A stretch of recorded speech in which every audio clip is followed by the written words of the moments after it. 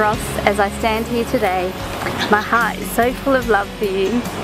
We have dreamed of this day for so long and I can't contain the excitement I feel about living the rest of my life with you by my side. I know we will create a home filled with laughter and love. Today I promise you this. I will laugh with you in the happy times. I will comfort you in times of sorrow. I will share in your dreams and support you as you strive to achieve your goals. I love you for who you are, your tender heart, your cheeky humour, the way in which you understand me like no other. The way you make me laugh every single day.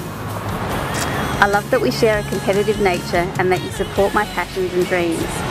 The way your eyes light up when you look at me makes my heart skip a beat. I love you now and forever and look forward to creating many treasured memories.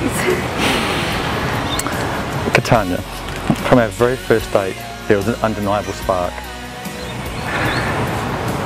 The depth of our first conversation was a sure sign that was not going to be an ordinary relationship. At first sight, there was definitely lust, which turned to I like you a lot, soon after love.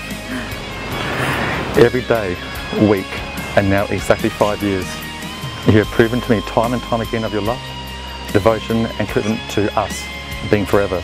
Your passion and drive for similar things we share makes me happier beyond words. I will promise to keep our passion for life and each other alive always. I promise the games and surprises will always continue. and I promise to always love you, my best friend, my training buddy, and now wife, my Lil K forever.